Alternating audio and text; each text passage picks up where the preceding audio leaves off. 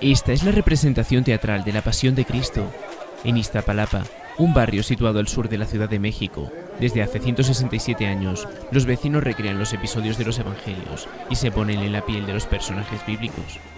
Su tradición y su arraigo son tales que muchos, como el cronista Jorge León, intentan que se declare patrimonio de la humanidad. Solo nos falta hacer toda la tramitología ante ese organismo tan importante que es la UNESCO para que sea el patrimonio de la humanidad. Se calcula que el público que asiste a estos festejos supera las 2 millones de personas.